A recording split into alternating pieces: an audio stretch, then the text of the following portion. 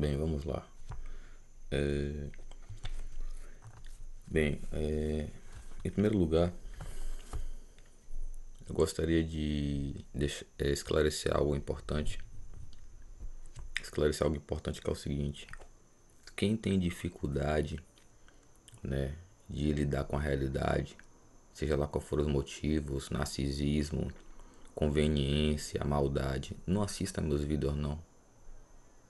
Entendeu? Não perca tempo não. Certo? E aí você não fica chateado, entendeu? E não vem querer me dizer o que pode e o que não pode ser feito. Eu continuaria fazendo meu trampo. É... Então, é, siga a sua vida e eu seguirei minha vida, beleza? Em primeiro lugar. É, meu trampo de hoje. Meu trampo de hoje é o seguinte.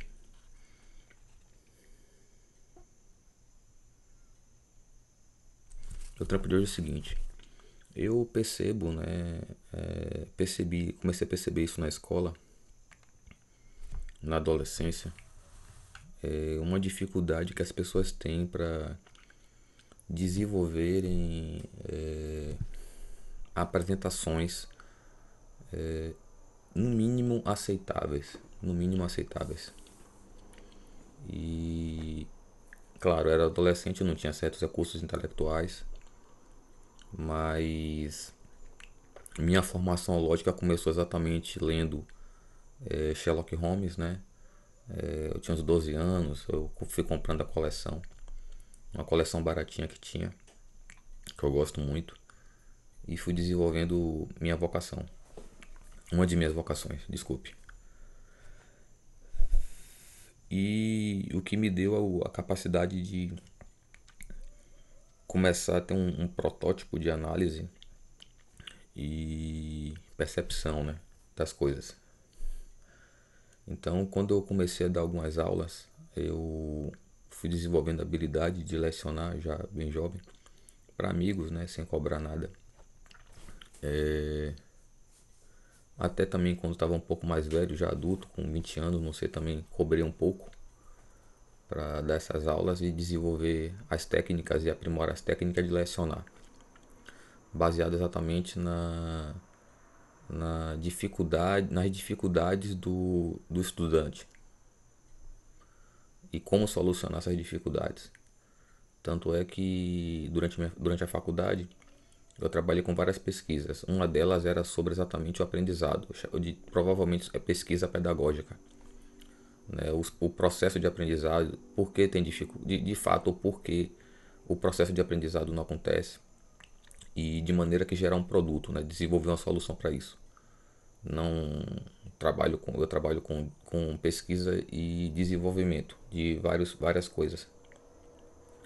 E o que eu estou agora aqui é, é, tentando mostrar uma forma é, interessante de você fazer suas apresentações. É, de faculdade, de escola, de trampo, é, o que for. De brincadeira, de jogos, familiar, slide show, Basicamente é uma forma de como você sabe, como você conta uma história, né? Como você contaria uma história. E aí, como é temático, é um é um é um vídeo temático relativo a isso, eu já fiz aqui como deveria, né? Para não ser, como dizem, né? É, hipócrita, porque eu fiz meus vídeos todos sem esse esquema. Esse esquema todo que eu fiz, eu fiz na mente. E o jeito certo é isso aqui, ó. O jeito certo é isso aqui. O jeito certo mesmo é você ir fazendo um esboço lógico.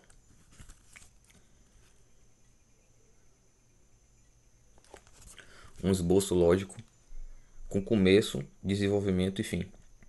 Um desenvolvimento lógico de como, como o que você está apresentando foi desenvolvido, como ele se passou para ficar para você ter domínio do que você está passando e para o entendimento ser mais fácil, ser fluente. Porque a história que contam para gente, pelo menos os, os conteúdos de história que eu tive contato, é, na maioria das vezes, não posso dizer tanto na faculdade, mas é, é passado de uma maneira que a gente não tem como entender, porque não é passado logicamente. A, a forma que a, que a história é contada a gente na escola, principalmente, já que são, é uma história é, para quem estudou documentos antigos, né, que já que eles são digitalizados, é, muito documento antigo de, de séculos e séculos e séculos já foram digitalizados. Então você não tem como ser enganado com certas coisas, né? Então é, você consegue encontrar as brechas, os furos, as mentiras com esses documentos digitalizados. Também por isso, né? Também o raciocínio lógico, percepção. É, e aí você vê que a história que conta pra gente é conveniente. É, se você pegar os, até mesmo os livros de filósofos e os contextos, você consegue perceber que tem coisas erradas no que contam a gente. E a impressão que eu tenho é que só tem duas possibilidades. Ou quem conta a história não sabe contar, ou é mal intencionado. Como eu falei, eu trampei com, com pesquisas pedagógicas, pedagógicas enquanto eu fazia faculdade. Enquanto fazia, não, desculpa, não faço faculdade. Enquanto estudei na faculdade. E uma delas, eu lembro que, que teve uma pesquisa, já, já quando a pesquisa já estava bem avançada, e eu estava desenvolvendo a solução, é, eu tinha um, um, já um certo conhecimento que era o seguinte. Infelizmente, é, muitos estudantes e muitos é, formados que dão aula tendem é, a decorarem receitas de bolo. Né? Eles viram que um professor viu, que viu que outro professor viu, que viu que outro professor viu, e vai repetindo, repetindo, repetindo, repetindo, daquela forma ali. É, e muitas vezes incompetente. É, não foi para isso que a pessoa foi para a faculdade. É, se falam tanto em personalidade, pessoas únicas, é, que não são iguais às outras, mas um quer copiar o outro, o outro quer ser igual ao outro o tempo todo. Eu não vejo muita originalidade na, na, na, raça, na raça desumana. Eu não vejo essas, é, esses, essas características especiais e únicas e raras todas na raça humana, não. Eu vejo a cópia da cópia da cópia da cópia da mentira do erro o tempo todo. Então eu botei a solução. Basicamente a solução é a seguinte: se você estudou, você dominou, você deve desenvolver sua forma de expressar aquele, aquela informação para virar um conhecimento na mente da pessoa. Porque a história da forma que é contada na escola, para não pegar a escola, a forma que é contada na história não se transforma em um conhecimento, só fica informação. O conhecimento é, é quando você de fato dominou e consegue usar aquilo ali com uma, com habilidade. Você não decorou, você não é apenas um reprodutor. Quem só é reprodutor não tem habilidade, não tem conhecimento, só tem informação. É, infelizmente é o que a, a, a, quase a totalidade tem do, da raça desumana. Então a solução é a seguinte: é, você quer dar aula, é, relembre né, as dificuldades que você teve, as estratégias que você utilizou para poder superar as dificuldades, muitas vezes dificuldade do, do ensino ruim, né, do professor copiar a cópia da cópia da cópia do erro e tente passar da, de uma maneira que o outro entenda. O que você não pode esquecer jamais é que ninguém tem como adivinhar o que você está pensando ou o que você sabe. Então, qual a estratégia? Qual é a forma que o que eu sei, se fosse passado a mim, eu entenderia? Será que a forma que eu estou passando eu entenderia se eu não soubesse? Será que a forma que eu estou passando as pessoas entenderiam? Se eu não soubesse, eu entenderia da forma que eu estou passando? Ou será que eu tenho que elaborar estratégias para poder isso ser possível, o entendimento ser possível? Sair do decoreba, da cópia, da cópia, da cópia do erro. E de fato a gente levar é, o ensino, a educação, o lecionar, o, a ciência a níveis de fato que, que são é,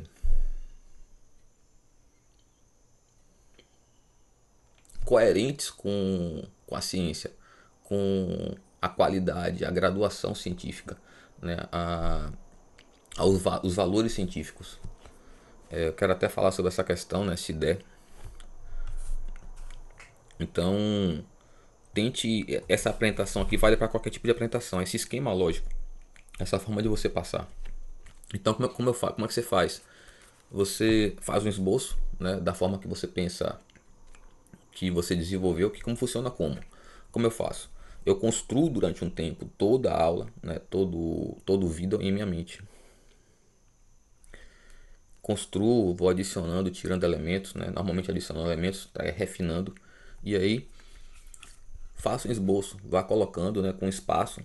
Vamos dizer, introdução, vídeo para YouTube, processadores. Bote um espaço, vá adicionando sempre com espaço, porque você terá que preencher aquilo ali.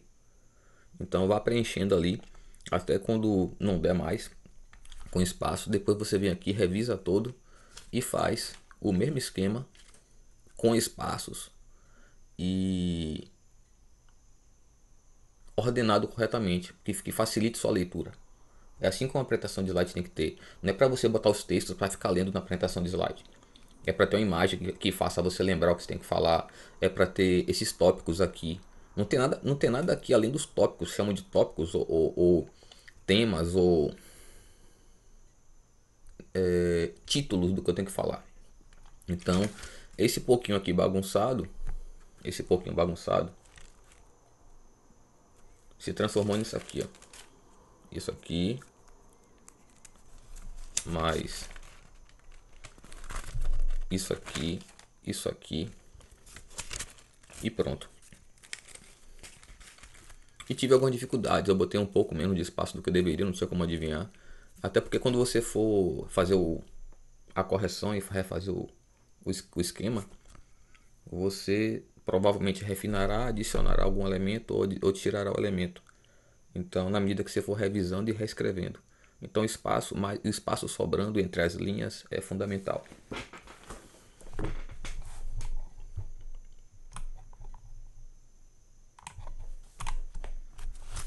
Pronto. Então, bora isso aqui servirá como slide que você, vocês apresentariam. Acontece o seguinte, estou fazendo esse vídeo de madrugada, é, que é horário que eu estou tendo aqui e tá mais tranquilo. É, bora ver aqui. Já tá ficando tarde, 3h38. Tem que adiantar o lado. É, vamos lá. Eu botei aqui, né? Expliquei. Pá. Hum. Aqui.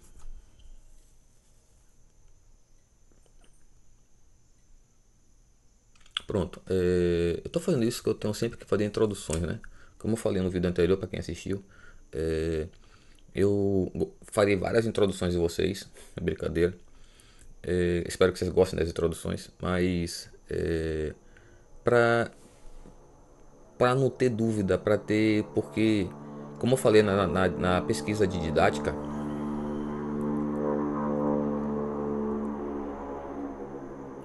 na pesquisa de didática, na pesquisa pedagógica, eu encontrei esses furos, esses problemas, né? O, como é que funciona? Suponhamos, né? O, suponhamos, não sei, desculpe, que um, é uma pessoa. Pronto, aqui. Aqui é meu brinquedinho novo, né? Meu brother, meu amiguinho. Adoro brinquedinhos, né? não é qualquer brinquedo. Deixa aqui. Quem reconhece aí sabe do que se trata. Ok?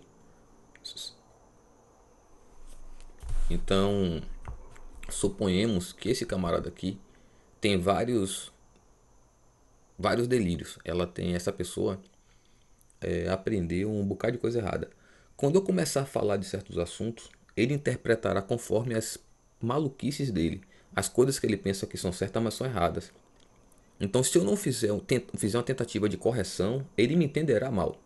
E normalmente ele pensará que eu estou errado, que ele está certo, que eu sou ruim, que eu estou enganando, que eu sou mentiroso, que eu sou maligno, que eu sou mal, mal intencionado, que eu sou mau caráter, que eu sou maluco, um bocado de coisa.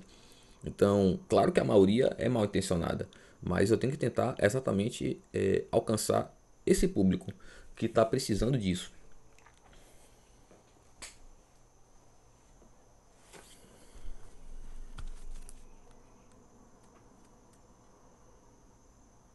Pronto.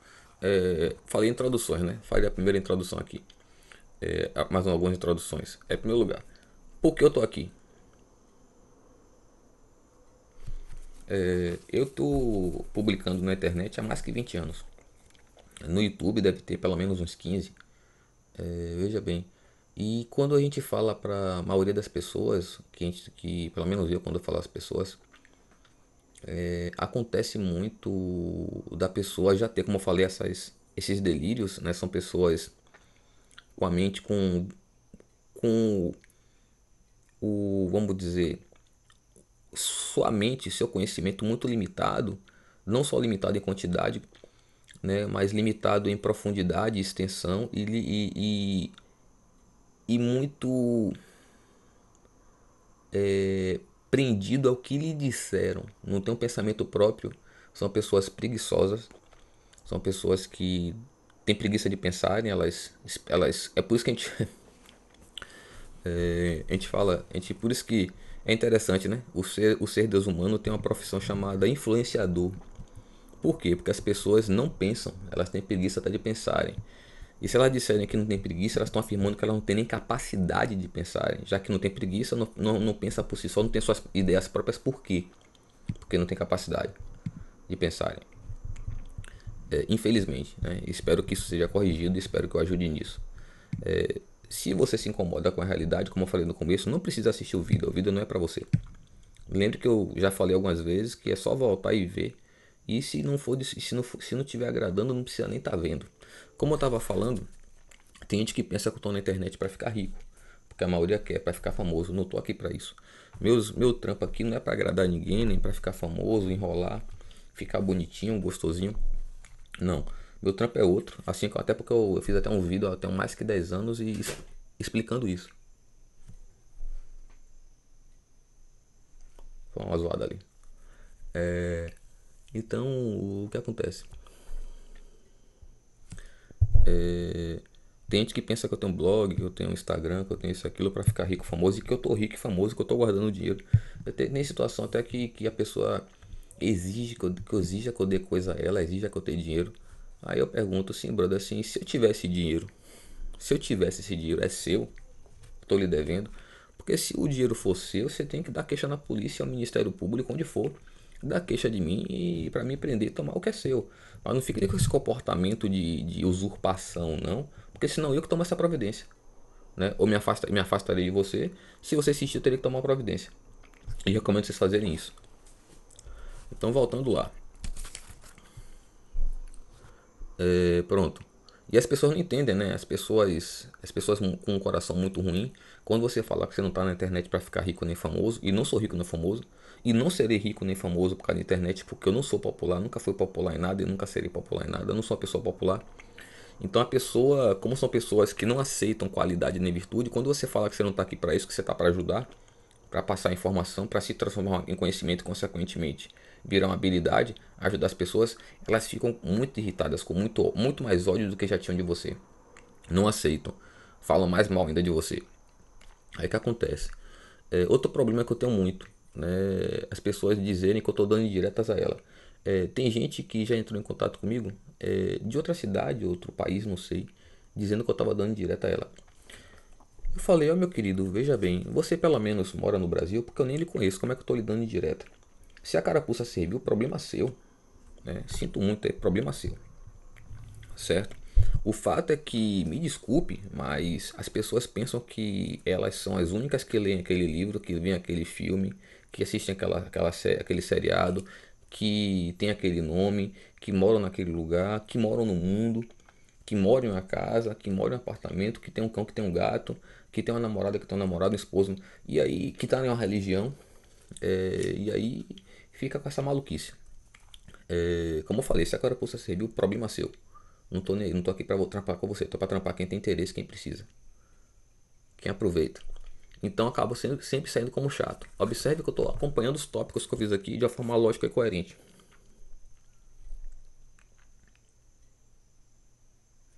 Tá vendo? Como deve estar no slide. É... Pronto. Fiz essa questão dessa introduçãozinha aqui. É... Bora tratar agora de mentiras. É... que algumas pessoas é... que, vem, que pegam, leem o material ou assistem, não, não sei bem, gostam de saber de algumas mentiras. Então comecemos o seguinte. Eu tive um certo problema, um certo certos problemas, quando eu falei do, dos muçulmanos no vídeo anterior. Interessante. e que eu falei que que isso é documentado, né? Que as cruzadas é, foram uma tentativa de parar é, o, o domínio muçulmano que estava fazendo o que o Hamas faz hoje faz, e fazia muito pior de torturar as pessoas na frente das outras, dominarem vilas, vilarejos, cidades e torturarem as pessoas na frente da, obrigava a verem a tortura, queimar vivo, estuprar, esquartejar, decapitar é, crianças, bebês, mulheres, adultos, homens na frente de todo mundo porque eles gostam de, de o psicopata, como eu falei, o sociopata gosta de fazer a pessoa sofrer e destruir, matar. Então eles faziam isso. E isso tudo, isso tudo que eu estou lhe falando é documentado, né? Vários é, é, existem, fizeram vários documentos com o passar dos séculos, certo? Muitos séculos. E isso que eu estou falando é documentado e já foi digitalizado.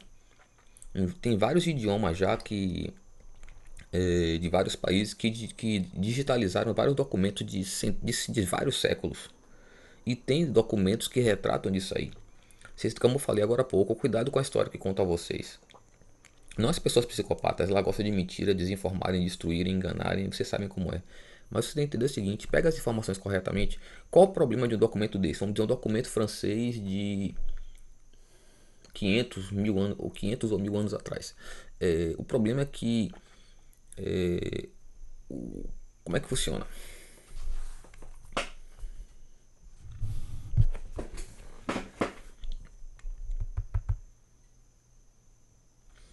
As, os idiomas eram, digamos, naturais antes do latim.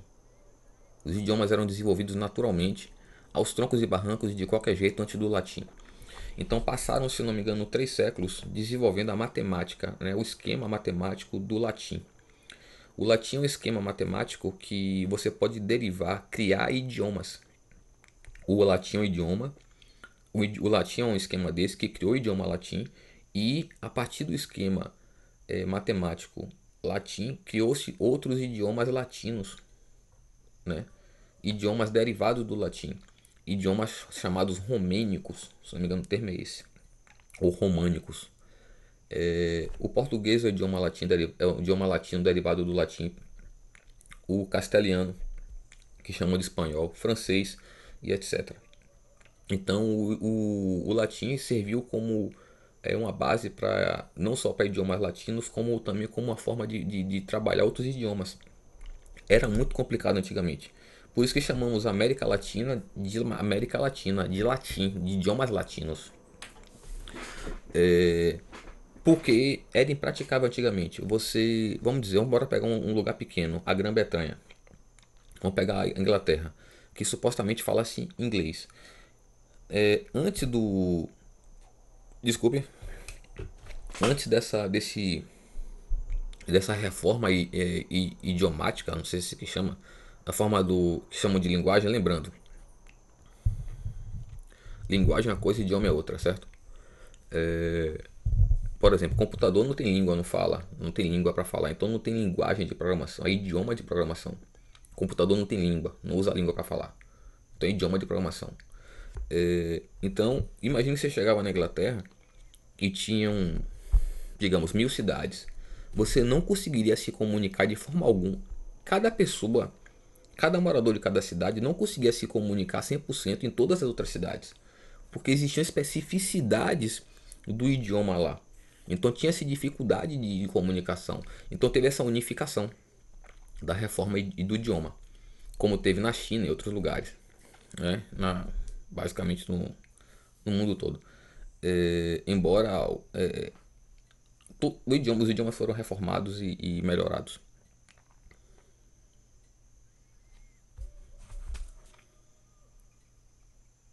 Então pronto, então como funciona? Qual o problema de você pegar um documento desse para ler? Esse documento de séculos atrás, é, como qualquer documento, é escrito com muito rebusco, né? muito, é muito rebuscado.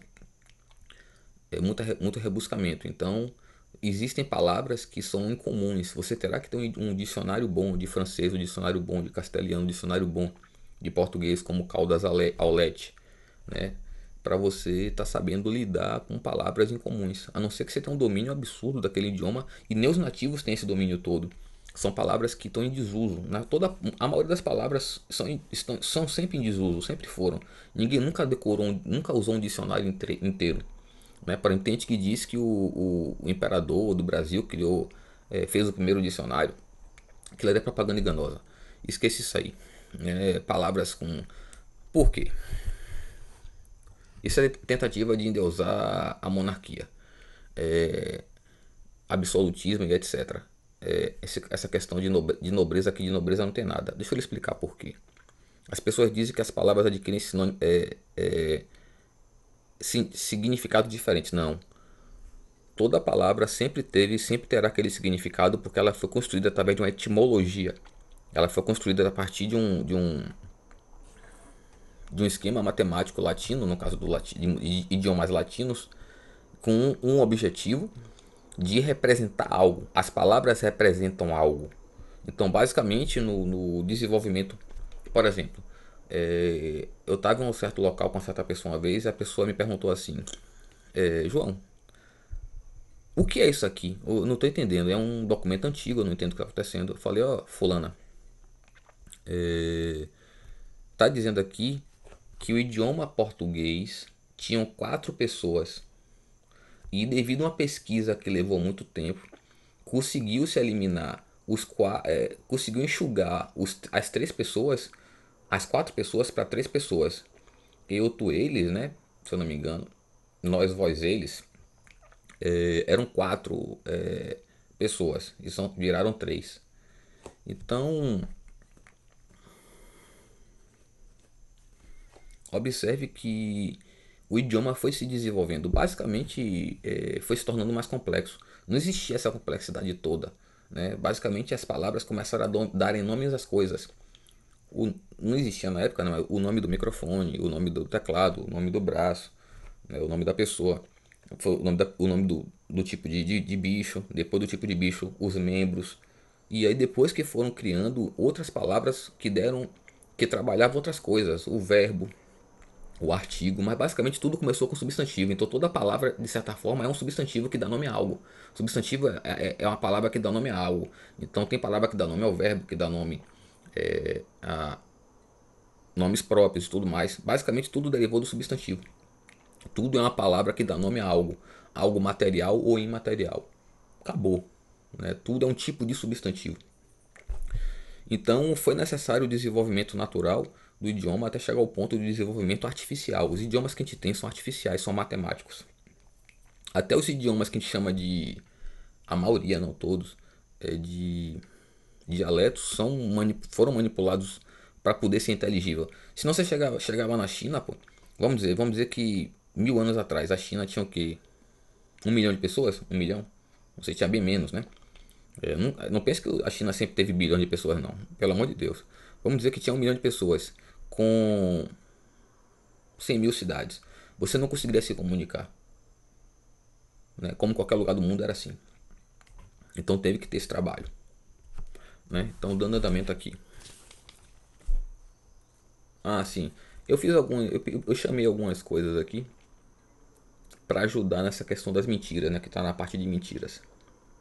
Que eu falei que me disseram que é mentira minha, que essa questão das cruzadas e tal. Me desculpe, pessoas de, de. Vamos lá. São pessoas de religião protestante mal intencionadas. Por que? Deixa eu lhe dizer. A pessoa fala assim: não, você é católico e você é religioso e tal. Eu falei, ó, oh, brother, por quê? Não porque você está falando, defendendo a religião. Não, veja bem. É... Eu, só, eu só estou defendendo uma vítima. Né? Existem documentos para isso aí, é, já disponíveis ao público. Não é como contam a gente, não é como a religião, os protestantes contaram a gente. Né? Afinal de contas, a Europa e Estados Unidos são, e outros países são dominados pela religião protestante. É, e, são, e essas pessoas queimam os, é, os religiosos protestantes que são bons. Queimam. São mal vistos, todos são mal vistos. Então, ah, mas você está defendendo, você é advogado de alguém, Aí eu falei, sim, eu não sou advogado de defesa de ninguém, mas você é advogado de acusação, é algum promotor, alguma coisa assim? Porque se eu não posso defender, porque você pode atacar? Né? E tem mais. É, por acaso o advogado precisa ser médico para defender um médico? O advogado precisa gostar de seu cliente para defender o cliente? Não precisa, ele só precisa defender. As pessoas têm uma tendência de manipular as informações, de, de falácia, com falácias para poder é, desmoralizar, descredibilizar, difamar é, a pessoa e quem está sendo defendido. A verdade é essa. Então bora conversar aqui. Por exemplo, uma coisa que acontece é muito. É, as mentiras é, também estão muito na internet. Eu até falei essa questão para tomar cuidado se a internet e o, e o televisor e FM não são para alienarem vocês. Por exemplo, a questão que o pessoal gosta muito de divulgar coisas do universo. Bora trabalhar um pouco do universo? Bora trabalhar um pouquinho? Pronto. Partamos do Big Bang, que é o seguinte: dizem que o Big Bang é uma, é uma, é uma teoria, já começou errado. Já começou errado. É uma tese. Uma tese é uma ideia proposta a alguma ciência para ser comprovada. Se ela for comprovada, ela vira uma teoria. Se ela for uma teoria científica, ela é aceitada naquela ciência. A tese pode ser utilizada na ciência, mas ela não é aceitada dentro de uma ciência. Por exemplo, a matemática. A matemática tem teses que a gente sabe que são verdadeiras, mas ninguém conseguiu concluir a pesquisa e comprovar. São teses, a gente sabe que é verdadeira, mas por não estar tá comprovado, não estar tá concluído o trabalho, não virou uma teoria científica matemática. Mas são teses matemáticas aceitáveis, aceitadas na ciência, que a gente utiliza para estudar e se desenvolver. Então, o Big Bang, por exemplo, quem leu o material daquele cara, ele era um cara muito estudioso, não lembro o nome dele, sou péssimo para decorar. Foi exatamente o problema que eu tive na escola. A escola tinha muito decoreba e eu tinha, eu tinha dificuldade de decorar, eu tinha capacidade de aprender, então eu tive muita dificuldade. Fiquei até revoltado e tudo mais com isso aí. Não, não é bem revoltado, fiquei bem chateado. Então o que acontece? O Big Bang, se você ler o documento, o, a tese, a tese, porque ele não tem como comprovar que ninguém tem como provar como o universo foi feito. É uma tese, não é uma, não é uma teoria. Não é comprovado, não tem como comprovar. Então ele diz assim: se você olhar o texto, ele fala: Eu tô aqui para desenvolver o texto de uma maneira que eu quero mostrar que o universo pode ter sido feito de qualquer forma, menos através de uma explosão. Aí ele discorre, né? Se não existia nada, como é que pode explodir? Se o se precisa de oxigênio para explodir, ele discorre lá no, né, no, no, texto dele. Quem quiser pegar, está disponibilizado na internet. Eu não lembro o nome dele, mas é difícil de conseguir não. Um texto, é um artigo, né? Aí quem quiser ler e se, se for familiarizado com os termos dele lá, das ciências, das ciências dele, que ele, ele, ele trabalhava com, com, com ciências diferentes, vá lá e leia. Como falei, tem vários documentos já digitalizados aí. Não precisa nem acreditar em mim, vá lá e confira. Se alguém falar alguma coisa, não você fale que eu vi e acabou. O que acontece? Partimos do Big Bang, né? Pronto, bora, bora analisar o universo. Como é que funciona? Nós estamos dentro de um sistema estelar né? não sistema solar.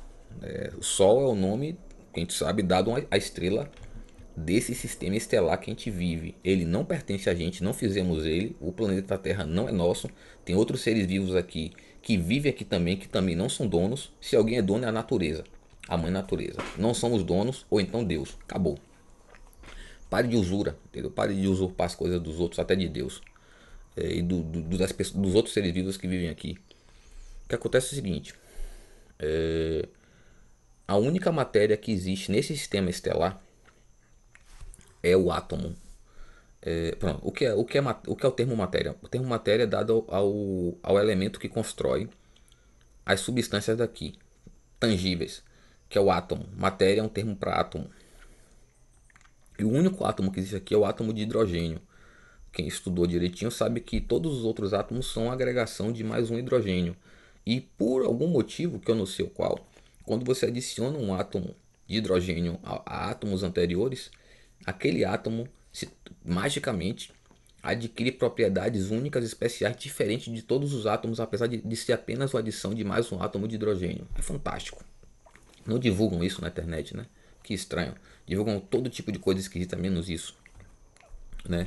Então, por exemplo, é, supõe-se que o primeiro objeto de, dos sistemas estelares que existem é o que aparece a estrela.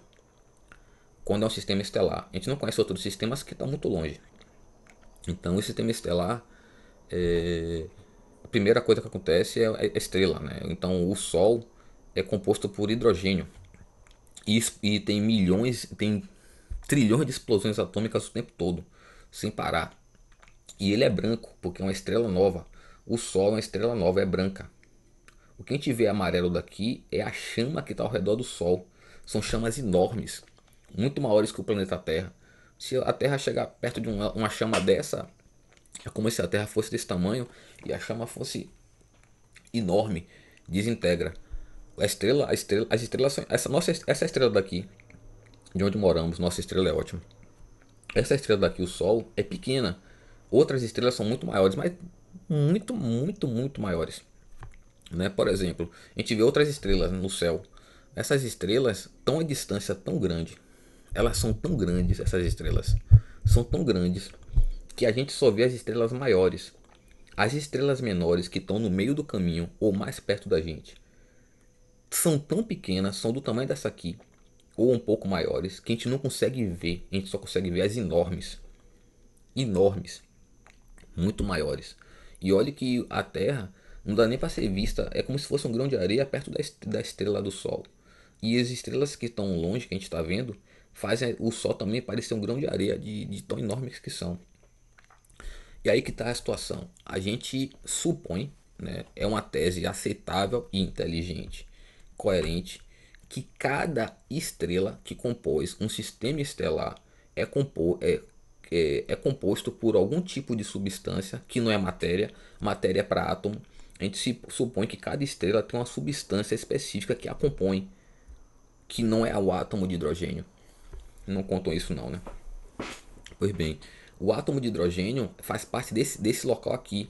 Todas, todos os materiais que caíram na Terra de asteroides fazem parte daqui desse sistema estelar. A gente desconhece como é em outro sistema estelar, outra galáxia, que as estrelas que a gente vê também são dessa galáxia. E, e qualquer coisa longe, qualquer coisa mais perto desse sistema estelar está extremamente longe. A gente não sabe do que é feito.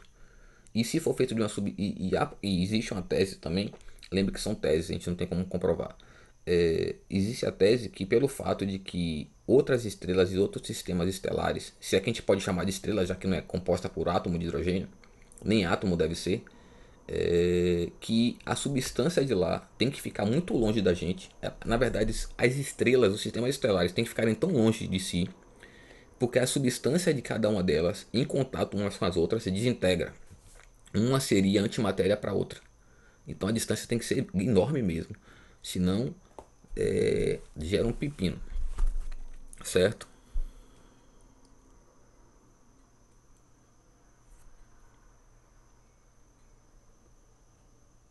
Pronto. Ah, interessante eu botei aqui, ó. É, a ficção. Né? O ser humano, infelizmente, é, cria histórias, é, principalmente do, do universo e multiverso, baseado no que ele conhece. Então quando você assistir um filme, né, como o Doutor Estranho e outros aí, e ele, ele, ele viaja por dimensões e, e, uni, universos diferentes, é... um bicho aqui, por um universo diferente, aquilo ali que a gente pensa aqui, pô, massa, né? Uma composição diferente. Na verdade, a gente não sabe nem se corpo a gente teria lá e, como seria esse corpo, já que dentro do próprio universo que a gente está, a gente pode encontrar as estrelas e as estrelas e sistemas estelares podem serem diferentes, a constituição, não só a aparência. Provavelmente, se tivermos outra outras dimensões, outro universo, é mais diferente ainda, é mais esquisito ainda. Imagine se o que está perto e aqui já é diferente, e já é esquisito, já é totalmente diferente. A tese é essa, e é o provável. Imagine outro universo. A gente não tem como conceber. O ser humano fica muito limitado. Quando vocês verem obras de filme e livro e tudo mais, e certas coisas são baseados no que o ser humano consegue imaginar, baseado naquilo que ele conhece. O ser humano não procura transcender aquilo que ele conhece, aquilo que ele sabe, até porque a maioria é preguiçosa, como eu falei, tem preguiça até de pensar. Quanto mais parar para imaginar como seria algo completamente diferente daquilo que, que ele conhece. A gente tem algumas pessoas que fazem algumas imagens abstratas ali, mas assim ainda é baseado naquilo que a gente conhece e praticamente ininteligível. A gente não, não, não faz sentido, na maioria das vezes. Ah, aqui uma mentira interessante. Ó. É, dizem que somos onívoros, né? Não existe ser onívoro. O único ser que fica mais próximo do onívoro são os micro-organismos que digerem os defuntos, que digerem qualquer tipo de defunto, de planta, de animal que for.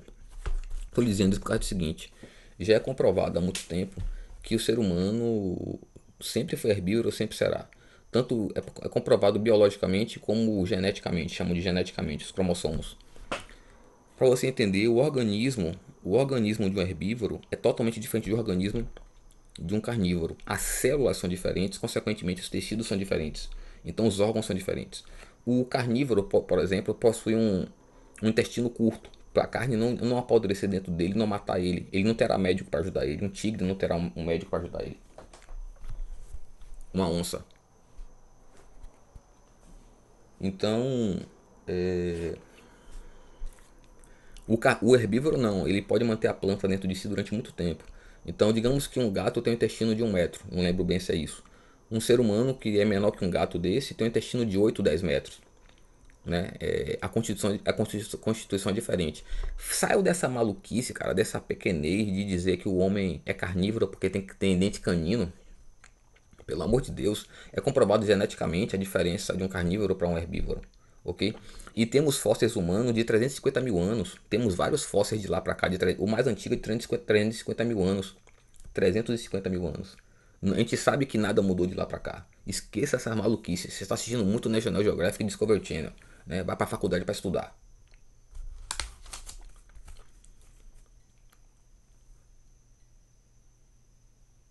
Mas se você consegue discutir contra fósseis e genética, contra cromossomos, né, que não modificou de lá para cá, como eu falei, se você consegue provar além disso aí, seja lá como for, beleza. É, eu quero só ver. Como eu falei, o ser humano é, de, é, é a raça desumana está dentro de um espectro, o espectro desumano. Então é, é comprovado, é, já se sabe as possibilidades é, biológicas, físicas e mentais que, que, um, que um desumano pode assumir, o ser humano pode assumir. E como eu falei, não temos mais pesquisas. É, já, já, já temos o, o, o praticamente. Como é que funciona? O corpo é finito. Então o estudo dele será finito. E foi finito. O estudo dele é finito, o estudo do corpo. E como o ser humano também não evolui, a mente também não evolui, o estudo é finito da mente. Então todo o corpo biológico tem um estudo finito, não, não se passa a vida inteira estudando ou pesquisando aquele corpo. Como a gente já tem esse conhecimento abrangente do corpo, das patologias, a gente está em processo há muitos anos só de desenvolvimento de soluções de problemas conhecidos. E esse desenvolvimento para problemas, desenvolvimento de soluções para problemas conhecidos biológicos de, de, patologias humanas, é um desenvolvimento infinito, eterno. Porque a gente desenvolve uma solução agora e, e procura desenvolver uma solução melhor, mais eficiente, mais eficaz, mais barata, mais fácil. É assim que funciona. Mas pesquisa infinita para um corpo biológico finito? Esqueça isso. O corpo é finito, já dominamos, esqueça isso aí. Né? Se você não desenvolve uma solução, problema seu. A pesquisa já foi feita. Estou falando pesquisa e desenvolvimento são coisas distintas.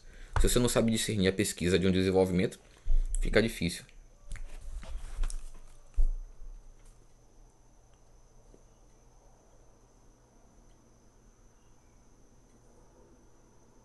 Ah, tem outra discussão interessante que eu tive essa semana e costuma acontecer. As pessoas assistem filme e tal, umas transmissões na internet de doido leem, leem livros, desenho animado e pensam que, que entendem é, ciência, né? Ficam misturando as coisas. É...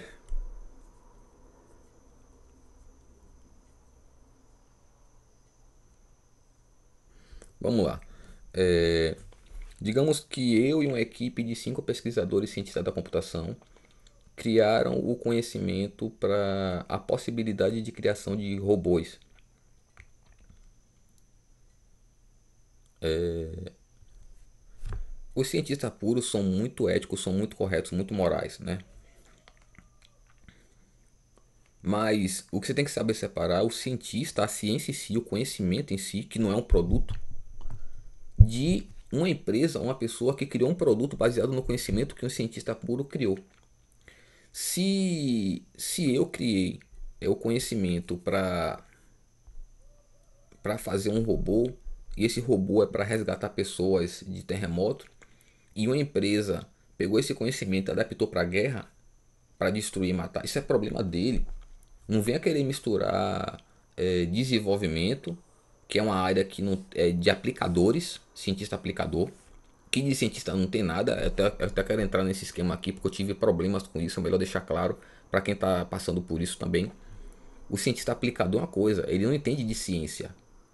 Né? Infelizmente tive vários problemas aí e é melhor resolver.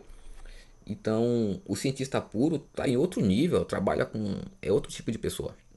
Somos completamente diferentes. O cientista puro detesta a pessoa comum, porque são insuportáveis, pô, são presunçosos, arrogantes, narcisistas, desfazem dos outros, são donos da verdade. E chegaremos até lá, porque eles invertem a história de como a gente fosse sair, né? Eles usam a gente como espelho, atribuem os defeitos deles a gente. Então vamos lá. Pronto. O cientista puro é quem cria os conhecimentos né, durante milhares de anos.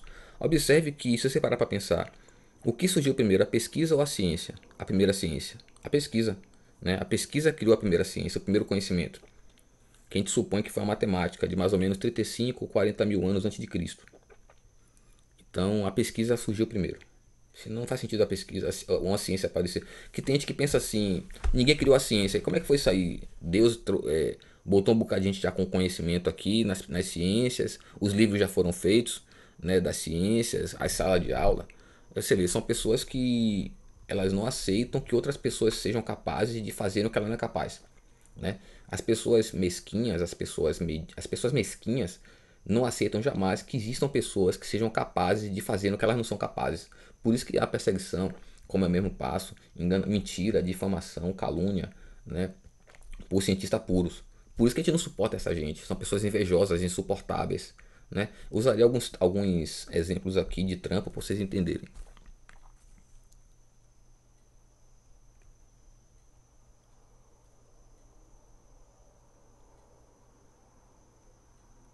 Ah, sim, eu botei aqui a questão dos herbívoros, né? Nós não somos herbívoros. O fato de você comer carne é problema seu. É comprovado que se você comer um quilo de carne, você botará para fora lá por trás um quilo de carne. Não absorve um quilo de sabe, A gente não absorve, a gente não digere carne de forma alguma, a gente não absorve carne. Passe uma semana comendo carne para você ver como você fica, só carne, né? Que dizem que comer carne deixa forte, malhado, grande, forte e tal. Coma carne para você ver. Se você tiver alguma dúvida, converse com um gastro, de verdade. Alguém que foi para a área de biológicas, para estudar mesmo. Biológica, geral, olha. Educação física é biológica, trabalha com corpo e mente. É, a biologia da biológicas enfermagem, nutrição, fisioterapia, medicina, são biológicas. Procure uma pessoa de fato de caráter que foi para a faculdade para estudar e é renomado. Não é só rico e famoso, não.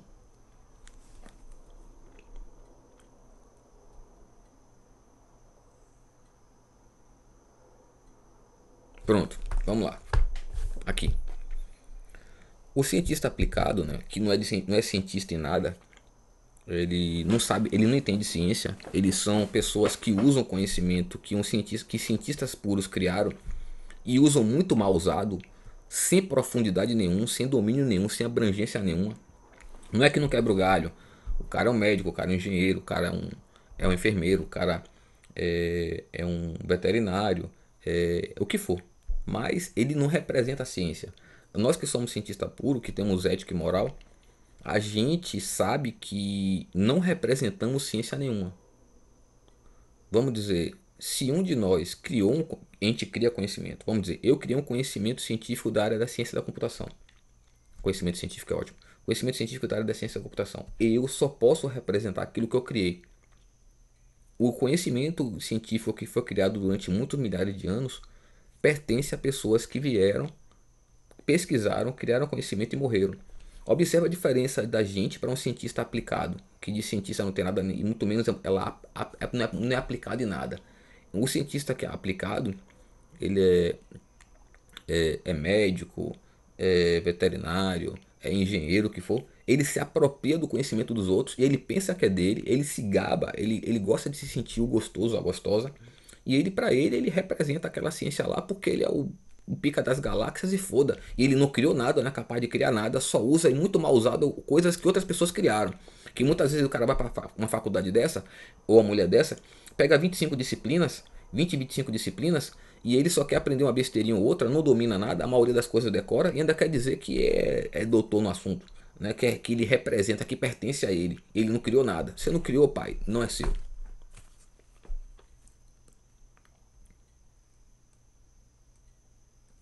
Narcisistas, usurários, usurpadores, né?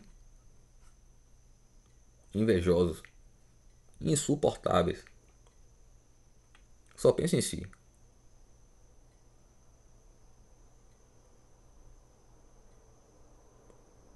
Ah, sim. Bora começar a entrar na ciência da computação, que o tema aqui, não sei se eu expliquei, não, parece que eu não deixei bem claro, é sobre processadores, mas tem que fazer essa introdução. Né? Então, é... bem, como é que funciona? A gente, nós cientistas da computação, quando vamos dizer, eu dou aula de ciência da computação uma certa faculdade junto com outros professores. Eu não dou aula não, é só uma exposição. A gente espera que os pouquíssimos cientistas da computação que aparecem de vez em quando sigam um certo caminho. Né? E nesse caminho ele desenvolva habilidades cada vez mais complexas né? durante seu percurso na faculdade. Nem sempre ele desenvolve as mais avançadas na faculdade, mas desenvolve após a faculdade. Por exemplo, a primeira habilidade do dom que ele tem natural, que a gente espera que ele desenvolva dentro dos, dos dois primeiros anos de faculdade, é habilidade de análise, analisar. Eu não estou falando as porcarias que tem na internet que chamam de analisar, não. Que se chamam de você chamam de analista e pensa que aprendeu análise. O cara chega lá e faz assim: jogo do Resident Evil 2 Remake. Ah, esse exemplo é ótimo. É, jogo do Resident Evil 2 Remake. Aí ele faz assim: Poxa, bora analisar aqui. Aí ele pega o jogo clássico e o jogo novo. Pô, o cabelo da Claire ou o cabelo do, do Leon é, tá mais claro em um, mais escuro no outro. Isso é análise, brother. Você não sabe que é análise, isso é comparação. Isso é análise. análise gera um produto. Não falo óbvio. Se fosse todo mundo é analista, pelo amor de Deus. Vocês estão. Eu não, sinceramente, eu não sei o que vocês estão usando, não, mas é da boa. Até eu tô querendo usar, viu?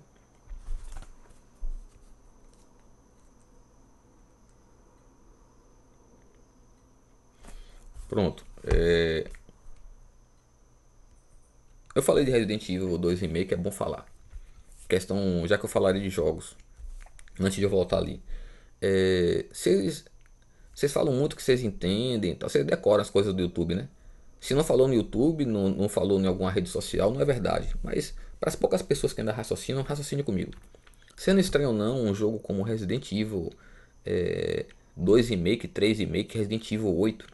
Vamos pegar Resident Evil 8. Ele é dublado, tem 30 GB e é dublado.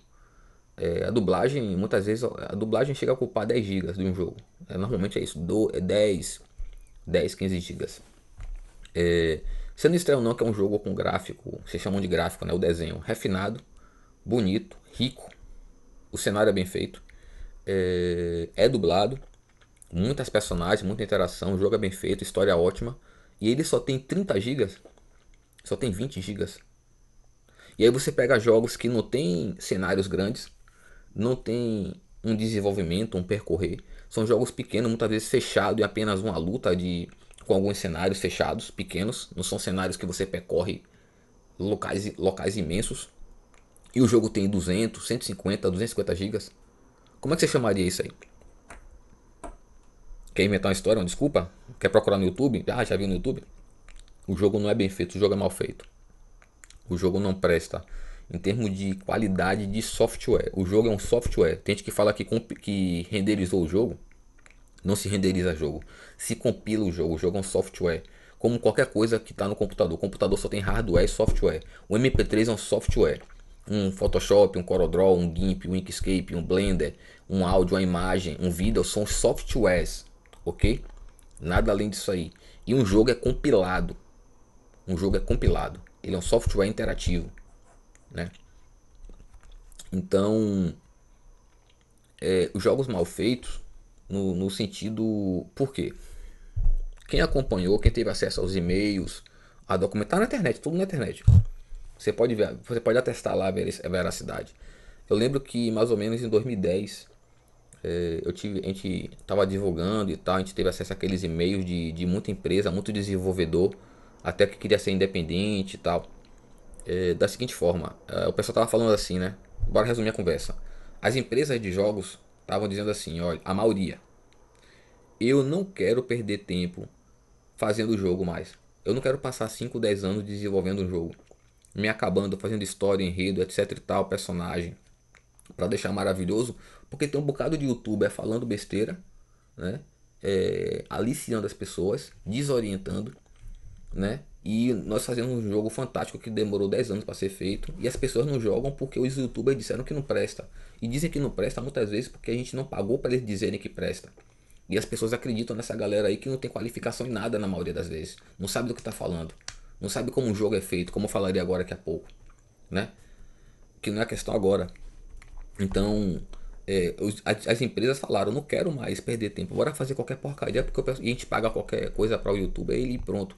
E nesse período, e um, isso, esses, essas conversas aconteceram, eles divulgaram e ou vazaram, né? Porque tem coisa que vaza e tem coisa que é mentira, que não, a gente sabe que não é coisa que não é vazada, é uma publicidade gratuita. Mas nesse caso não, não, é, não foi publicidade produtiva nada. É, eu lembro que a gente, teve, a gente teve, foram divulgados aqueles, aquelas denúncias, né? Que tinha muito YouTube, youtuber famoso que a empresa pagava, vamos dizer, 250 mil dólares para poder divulgar um, um microfone, um, uma webcam, um monitor, um processador, uma placa gráfica, um computador, o que for. E o youtuber só tinha que receber aquele dinheiro, tinha um script, ele já recebia um script para falar só daquilo ali, não precisa nem ter trabalho, só precisa falar aquilo ali, ou o jogo, ou divulgar o jogo, e devolver. A empresa mesmo que envia pelo correio o produto e, e aí paga para o correio receber. Esses youtubers não falavam o que tinha que falar, é, alguns nem, nem, nem, divulgavam o produto, nem, nem, nem nada. Eles é, não devolviam o produto, e acontece isso até hoje, não devolvem o produto, recebem muito bem, não devolvem o produto, falam mal da empresa. Quando a empresa perde a paciência, sai falando mais mal ainda, ok? Poucos têm alguma ética, poucos têm alguma moral, poucos ainda, poucos têm algum tipo de comportamento correto, entendeu? Então cuidado com esse tipo de coisa. É, tem muito YouTube aí, muito transmissor, muita gente da internet enganando vocês aí, mal, se fazendo de bonzinho, de caráter, de bom caráter, né, de caráter bom, de honesto, de maravilhoso, mas não. As empresas é, reclamam muito, é, muitas empresas abandonaram muitos deles. Não estou falando daquele simplesmente que ganha vida é, só fazendo besteira para chamar atenção, não, sendo agressivo nem nada, não. Estou falando que o bicho pega. Pega os documentos aí 2008, 2010, pra você ver. Ninguém mais quer fazer jogo bom não mesmo, porque a galera só ouve o youtuber. Faz um jogo fantástico e ninguém joga porque o youtuber falou mal. Não é que eu concorde com isso não, mas eu tenho que ver o lado da empresa. Aí a gente entra na questão do engenharia de software. É, veja bem.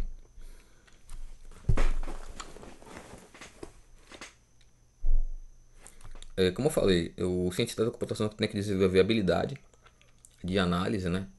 É, depois de ser habilidoso em programação, que é o básico do básico do básico do básico. Cientista da computação não é programador, isso é, um recurso para ele se desenvolver.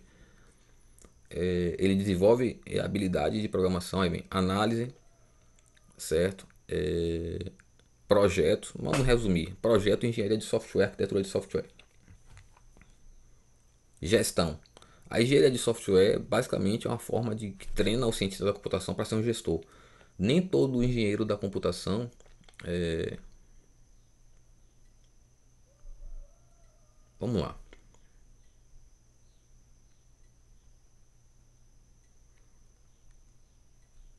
Nem todo, nem, nem todo desculpe, nem todo cientista da computação consegue desenvolver essa habilidade de gestão antes de se formar. Ele nasce com a noção de engenharia de software, gerência de projetos e tudo mais, mas quando chega lá na prática, é que ele vê certas coisas que só vê lá, como os, os funcionários insuportáveis e problemáticos. E aí ele vai desenvolvendo mais habilidade e domínio da situação. É uma das coisas que você tem que saber separar. O programador não é o cientista da computação. Ele não sabe certas coisas, ele não consegue ver, ele não consegue compreender certas coisas. Ele precisa de um projetista, precisa de um gestor.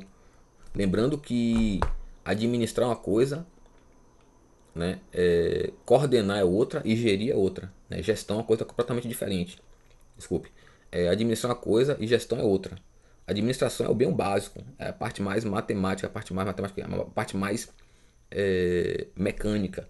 A gestão abrange todos os processos daquilo ali dinamicamente ao mesmo tempo, de maneira que você consegue ordenar e coordenar aquilo ali é, uniformemente tudo para as coisas darem certo e, e, irem da forma melhor possível com prejuízo menor possível. Administrar é, é um nível bem mais baixo. Administrar é mais uma questão de coordenação, administração de, de setores menores com coisas menos problemáticas, menos complexas, que não tem essa interação toda. A capacidade de gestão é uma capacidade complexa. A gente não, não nasce com habilidade de gestão. Você tem que labutar muito para talvez aos 30 anos ou 40 você conseguir ter essa capacidade aí. Não é que você não consiga quebrar um galho administrando, mas a, a habilidade mais avançada de gestão é mais, bem mais difícil de se ter.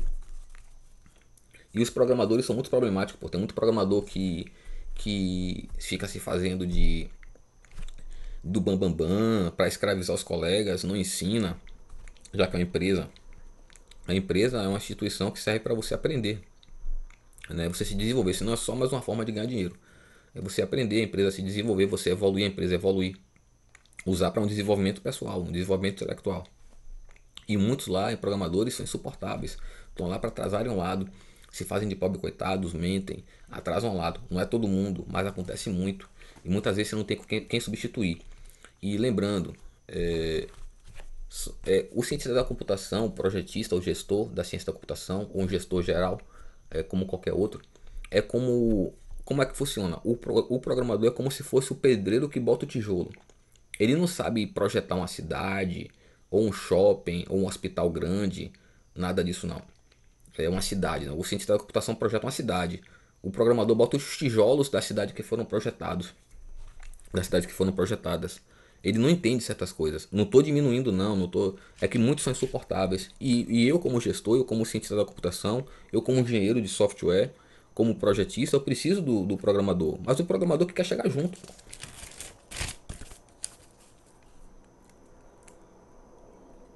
Vamos lá. Esse vídeo tá enorme. Que zorra. É... Processadores.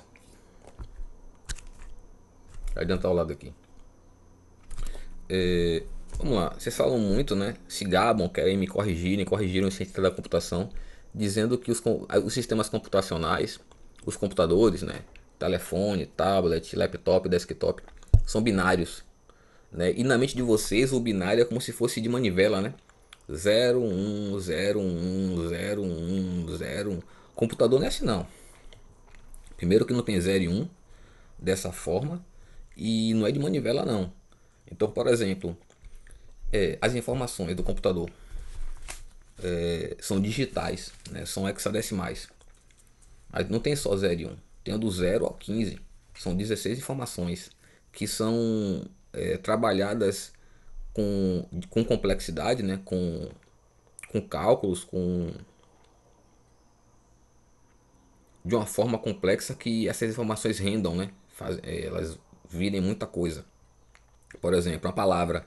A gente usa computador 64 bits. Então a palavra pode ter um número, um tamanho de bits, né? De 0 a 16, uma, uma cadeia de 0 a 16 ordenadas de um número do tamanho que é 2 elevado a 64, se eu não me engano. É um número enorme. E observe que, que não é de zero, essa palavra não é composta de 0 e 1, um, como dizem. E dizem que o zero é a falta de eletricidade, 1 um é a eletricidade. Então é, de, é hexadecimal de 0 a 15. E esse zero não é a falta de eletricidade. Por exemplo, é, você bota para tocar uma música no computador. Ou qualquer rádio que também é, tem processador. Você diz que é 0 e 1, um, né? Como é que fica 0 e 1? Um, você bota para tocar e não fica. O, o, o rádio não desliga. O computador não desliga com 0 e 1 um, se você cortou energia. O monitor não desliga. Não parou de tocar música. Lembrando que são palavras que é uma, é vamos pegar uma música de 5 minutos. É complexa, com que varia tudo, nada se repete. Tons diferentes e tal. Então tem várias palavras diferentes, com vários zeros seguidos, vários uns seguidos, né, que seria vários uns, vários 1, 2, 3, 4 e tal. Vamos dizer que seja, como você falou, binário, 0 e 1. Um. Então como é que você bota uma, uma música para tocar ou uma imagem que tem vários uns seguidos até chegar vários zeros seguidos até chegar a 1? Um? Como é que o monitor não desliga como é que o alto-falante não para de tocar? Como é que o computador não desliga o rádio, o tablet, o telefone, já que foi lançado vários zeros sem energia? E eu queria saber outra coisa. Isso aqui é um fio. Ó. Vamos dizer que isso aqui é um fio dentro de um computador. Isso aqui está maior. Mas lá, se você ficar pequeno, é desse tamanho. Você, como é que eu jogo um elétron aqui? Pá, jogo um elétron, é 1, que você falou que é eletricidade. Ele vai até onde tem que ir, sem se desfazer. Porque a gente aprendeu que a natureza recolhe aquele elétron e bota de volta para algum átomo. Esse elétron não sai percorrendo aqui. Você tem que jogar uma corrente elétrica que mantenha, porque ela será desfeita. Não fica 0 e 1. Um. Não fica uma manivela 0, 1, 0, 1. Isso não existe. É melhor você estudar, ir para a faculdade estudar. Porque tá falando, tá falando besteira. É de 0 a 16 e não tem a falta de energia, não. O zero é eletricidade, sim. A diferença é o seguinte. Falamos de palavra e tal.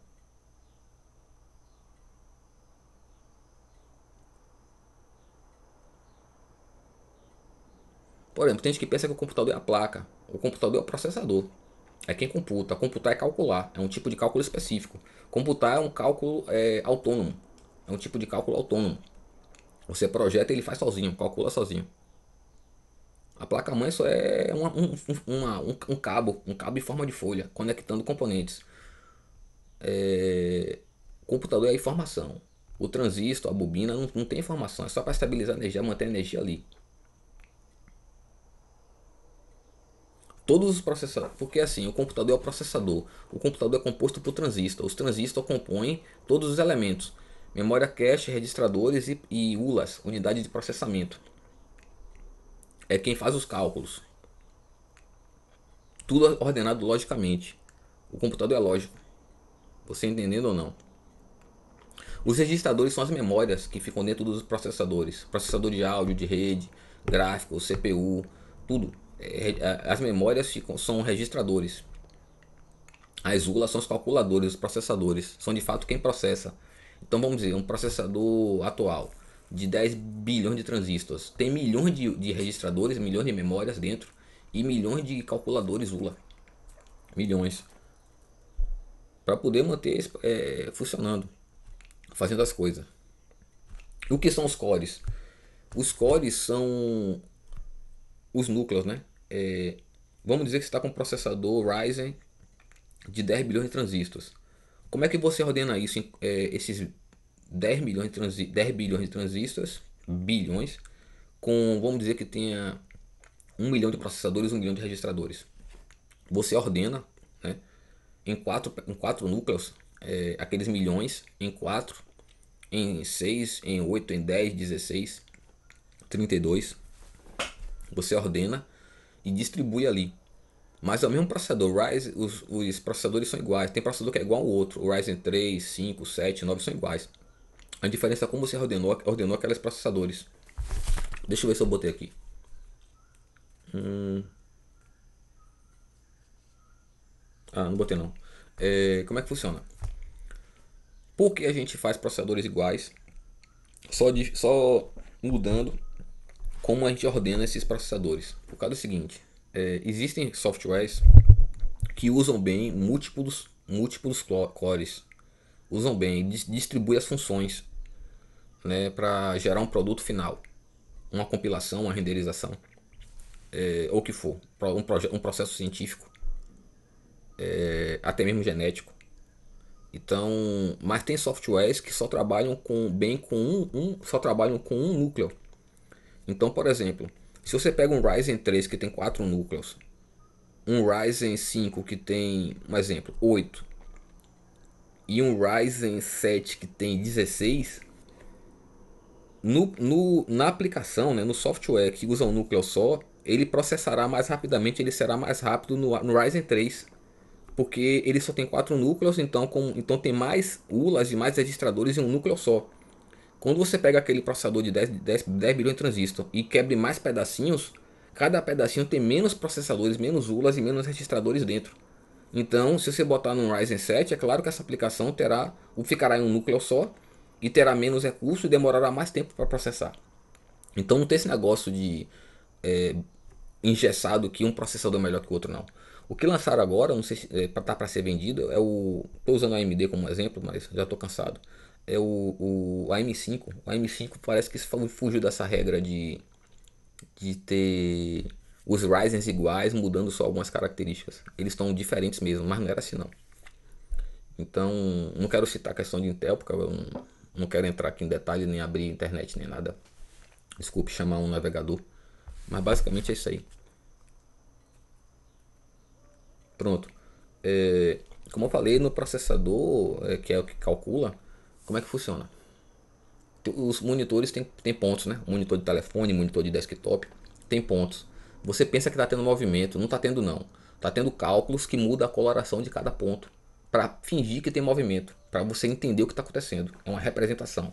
Lá dentro não está tendo nada disso aí, não tem uma pessoa lá, não tem um jogo, não tem um filme, não tem uma janela, não tem um navegador, nada disso aí. Isso é apenas o que está sendo mostrado a gente para a gente conseguir interagir. Por isso que tem um sistema operacional, a gente não consegue interagir com a máquina, tem que ter um sistema, uma interface, para a gente conseguir interagir com a máquina. Essas coisas não existem lá dentro, certo? Não tem um bichinho lá dentro não.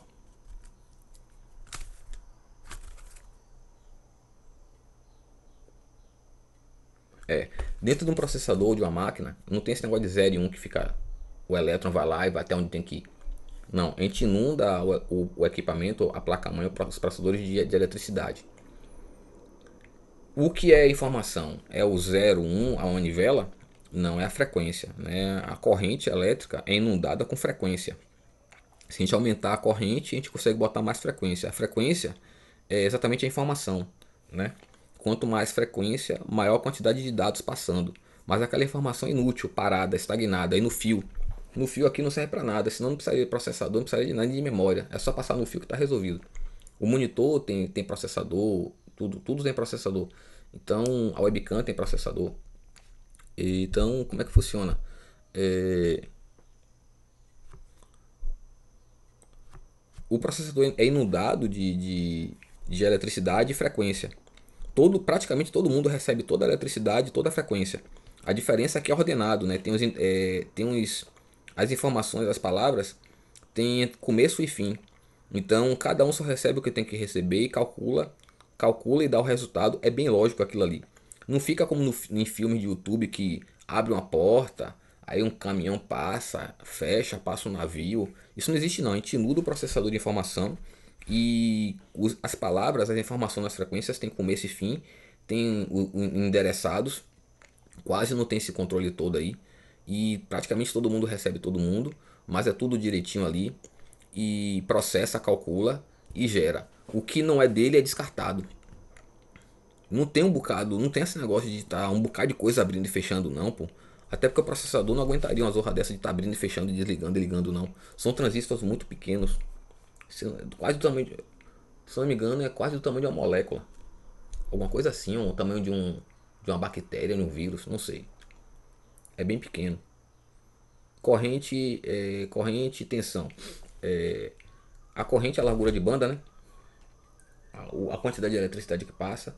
A frequência é a quantidade de dados naquela corrente. Quanto maior a corrente, mais dados você pode botar. A tensão é a velocidade que aquela, que aquela corrente passa. Então, frequência é só dados, frequência é só informação. Velocidade é tensão.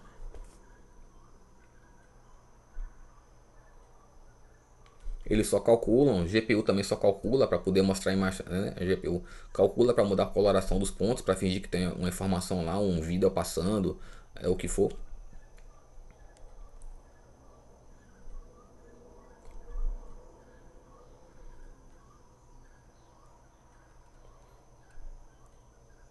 Vamos lá. É, tem gente que pensa que o jogo tá, tá, tá dentro da memória né, persistente, o HD, o SSD, tá se mexendo lá e você, ele tá lá vivo se mexendo, isso não existe.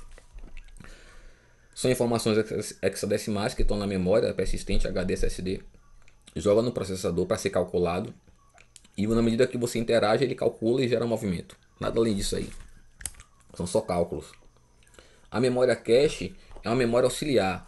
Ela, ela ela é tipo assim, ela fica no processador e quando o processador quer informação do que de alguma coisa, eu preciso ter a informação no, no HD.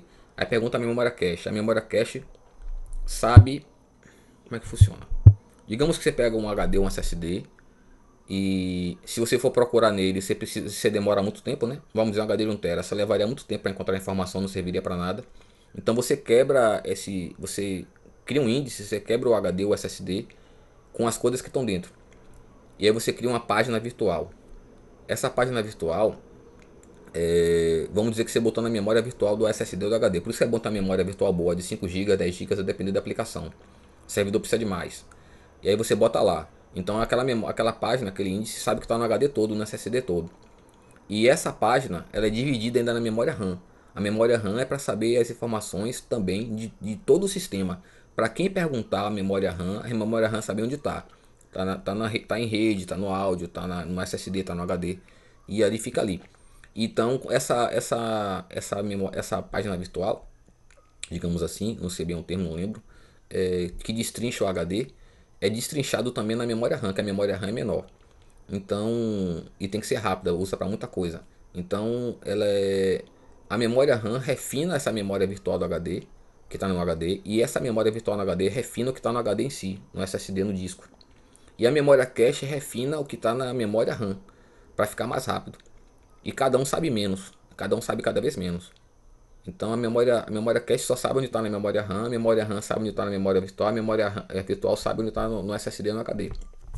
Basicamente é isso aí. Senão não tem como trampar. Bem, falam muito inteligência artificial. Pô, eu já tô cansado? Não existe inteligência artificial, beleza? É inteligência computacional. É, um, um, todo software bem feito é, é uma inteligência computacional. Programador normalmente não faz inteligência, computa inteligência computacional, faz burrice computacional, porque não é bem feito o software. Um programador normalmente ele só faz editar um software, ele pega softwares e edita. Dificilmente faz muita coisa além disso aí. É, é, o trabalho dele. Ele não cria nada. Quem trabalha com criação de software, de soluções, de, de pesquisa é cientista da computação. São softwares que você nunca verá. São softwares que estão por trás, que estão é, são invisíveis, né? São softwares que estão dentro do são o sistema operacional em si. Hum, são softwares que, que permitem o uso do, da máquina, que gerencia a rede, gerencia o processador gráfico, gerencia o SSD, gerencia o HD, gerencia o processador central, gerencia redes, gerencia o disco de, de gravador de DVD. Isso são vários softwares que gerenciam várias coisas e formam o sistema operacional, tirando segurança e outras coisas. Você não vê esses softwares. São softwares mais é, profundos. É, quando você vê um Google Chrome, um Opera, são aplicações, né? São softwares acima disso aí, são desenvolvimentos não são é, pode ter sido bem projetado por um cientista da computação, mas não foi programado por um cientista da computação. Porque esses softwares mais complexos, profundos, invisíveis, sem interface gráfica, precisam de, um, de um, um trabalho refinado de uma pessoa que saiba muito, muito bem qualificada. E só o cientista da computação que faz isso aí.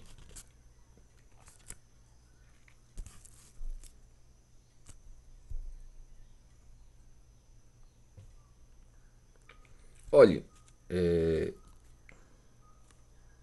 a gente ouve muito essa questão das pessoas falarem em filmes e tal, do ser humano criar uma máquina é,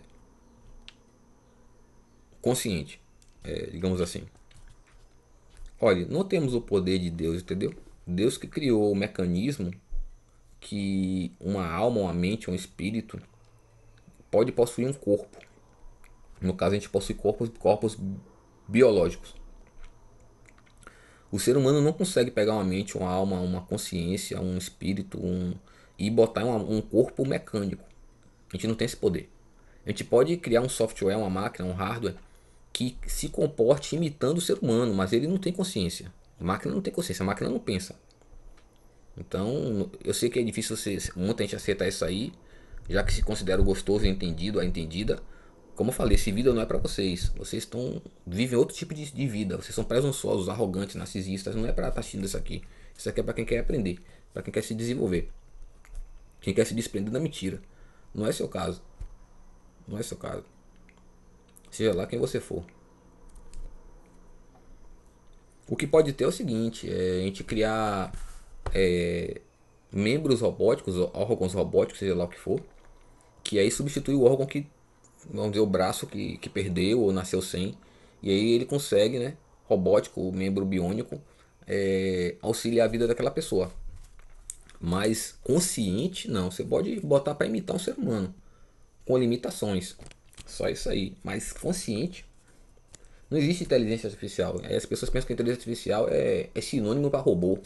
Bora tirar da cabeça esse negócio de sinônimo.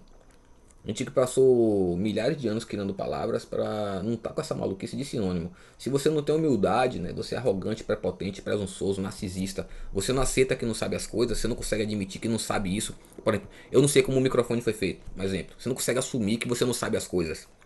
Sai daqui, entendeu? Não, não perca tempo aqui não, até mesmo para você não me encher o saco. Mas é, o fato é que você não sabe o significado das palavras. E para você não, não assumir nem para si nem para ninguém que você não sabe alguma coisa, você fala que existem sinônimos, que aquela palavra significa aquilo, esqueça isso aí. Estude, pô. Não fique com essa mentalidade medíocre, não. Medíocre não, é, é mesquinha. É, ah, porque tem um dicionário de sinônimo. O vídeo tá grande, não quero parar nesse ponto, não.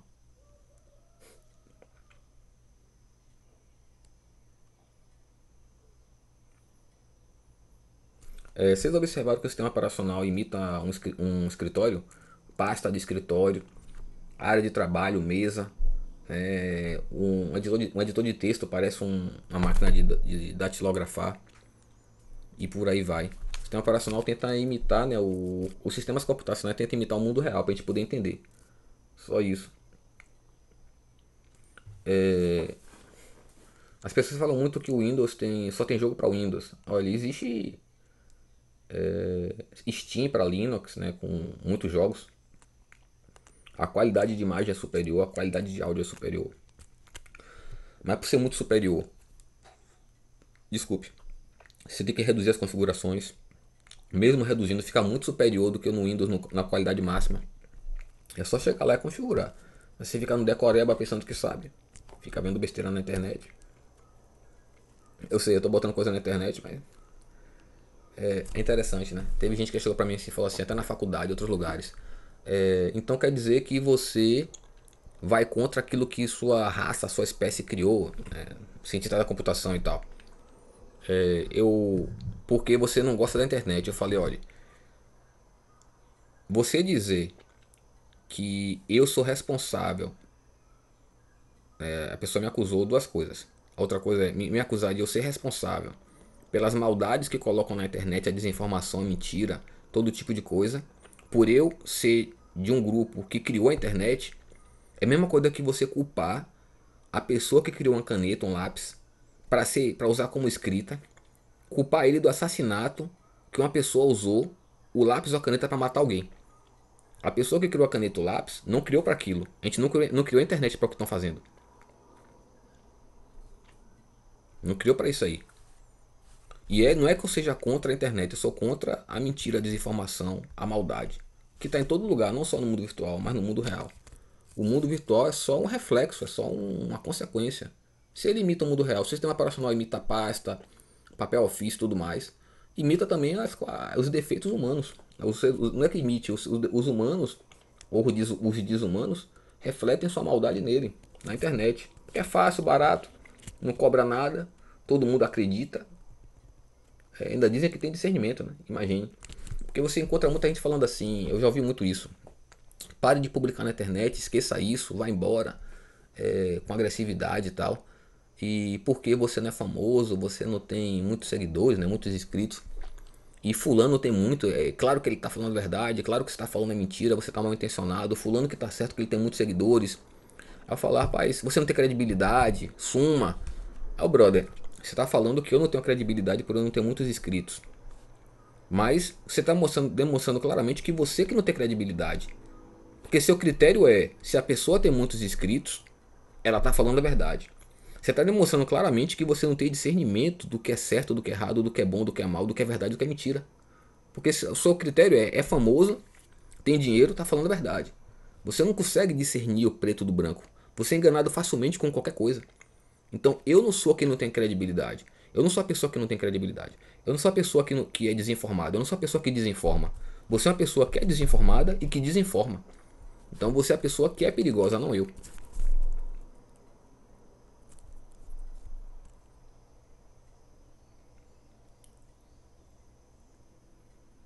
Ah, sim. Eu botei aqui que o jogo não está dentro do SSD do HD, né? Como as pessoas pensam que está passando são cálculos. O que a gente vê aqui não está lá dentro, não. Lá dentro é outra coisa. Isso aqui é só representação. Vamos lá, como o jogo é feito? Já estou cansado aqui. O jogo é um projeto. É para ser um projeto. É... Vamos lá, voltando a sinônimo. História não é sinônimo de enredo. A história é... abrange todo o projeto. Certo? E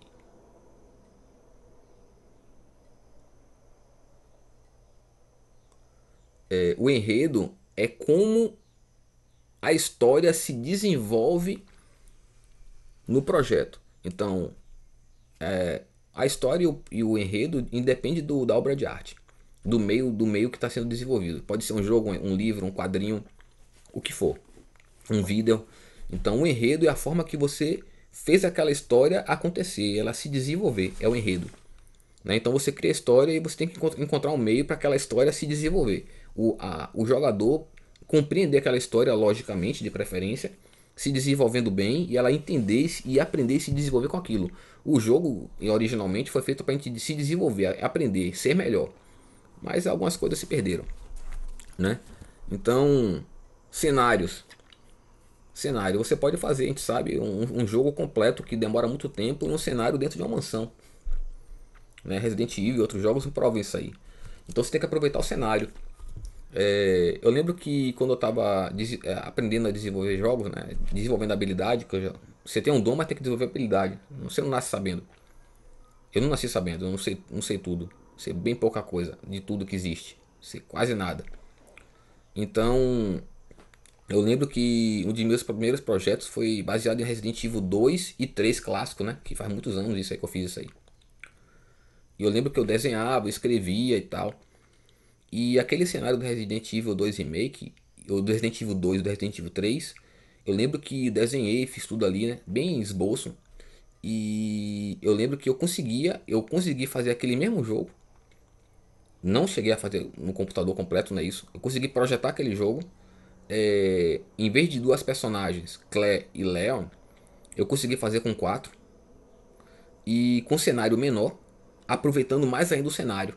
Aproveitando mais do cenário os locais, as casas, os quartos, as empresas, né, os locais que você entra, fazendo ficar até mais interessante, mais, mais legal. Lembrando que eu não criei nada, eu já peguei pronto e baseado no que eu vi, que era muito bem feito, para mim um dos melhores jogos do mundo é o 2 e o 3, Resident Evil 1, 2 e 3. Baseado naquele projeto fantástico, eu refinei, melhorei. Eu não fiz do zero, beleza? Para não pensar que eu fiz um jogo do zero, 20 anos atrás. Eu novinho. Não foi isso tudo não. Pronto, desenvolva o jogo. É, desenvolver a personagem é bom. Né? Seria bom se você quiser, criar uma personagem fantástica que justifique o que ele está fazendo. Onde você pega um, um Leon, você pega uma Claire, falando Evil, né? Você pega uma Claire. É bom que você crie um histórico dela que ela consiga. Que justifique ela ser uma pessoa, a única pessoa que sobreviveu em Recon City. Uma pessoa qualquer que não é inteligente, que não é capaz, que não tem certas qualidades intelectuais, não sobreviveria em Recon City. Você vê que todo mundo morre. Quase todo mundo morre. Então a construção da personagem é fundamental. Características intelectuais, formações, trabalhos, estudos, treinamentos. Fundamental para justificar aquilo ali. Senão fica de qualquer jeito. Não fica bom, fica feio. Desenhos. É, outra coisa, um jogo não é feito de desenho simplesmente. Né? Observe que tem todo um projeto, um enredo, uma história, uma história, um, um enredo e aí o desenho é feito baseado no que foi criado, na história e no enredo. Você desenha o enredo. Como você cria o enredo e desenha para aquele enredo se desenvolver. Direção de arte, pronto. O cara que desenha a personagem, desenha os objetos, a casa e tudo mais, são como o pedreiro, né? Como eu lembro que eu falei que o programador é o pedreiro que bota o tijolo, mesma coisa. O desenhista é o pedreiro, ele bota o tijolo. É claro que existem programadores fantásticos, existem desenhistas fantásticos, mas nem sempre eles são capazes de trabalhar com a direção de arte. Aquela pessoa que está no projeto em si, na, no, no, no, núcleo do projeto, está na, na parte de gestão, conversa com os, os outros projetistas, com quem criou a história, quem criou o enredo, quem criou os personagens, e ele pega aquela ideia pronta, sugere, interage, e na mente dele, já com tudo pronto, ele olha, o desenho tem que ser assim, e aí passa para os desenhistas fazerem. Normalmente o pedreiro não faz isso né, o colador de tijolo. Lembrando, eu não estou menosprezando o pedreiro, não é isso. É questão de, de qualificação. E o projeto é isso aí de jogos, basicamente. que demora para resolver um problema, viu? Espero que vocês gostem e agradeço aquele abraço.